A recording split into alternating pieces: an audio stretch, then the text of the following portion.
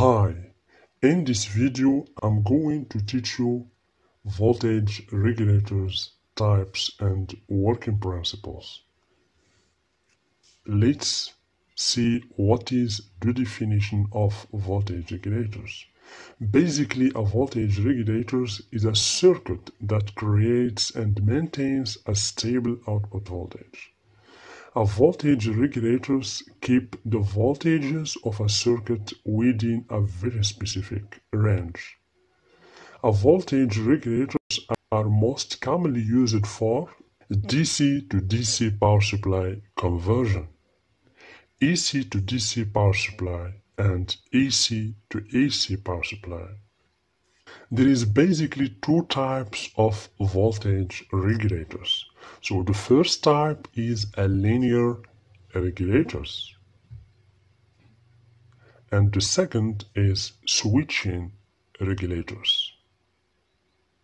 So a linear regulators utilizes active passive devices such as MOSFETs which are controlled by high gain operational amplifiers to maintain a constant output voltage. The output voltage is always below the input voltage.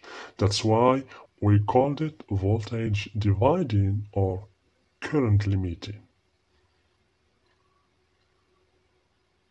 For the switching regulators,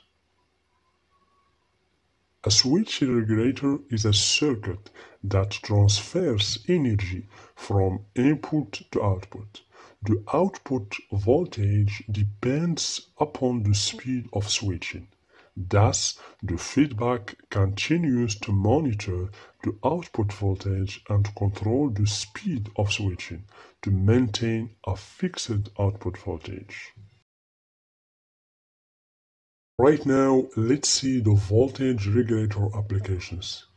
The voltage regulator can be used in electronic amplifiers, in computer and other sensitive electronic devices like smartphones, tablets, printers, etc.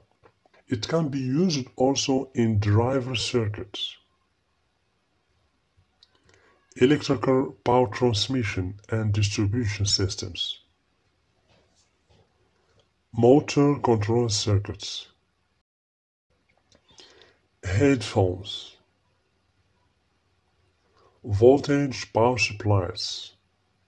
So basically this is the main important tips about voltage regulators. So the voltage regulators can be an integrated circuit with three terminals or more or can be a Zener diode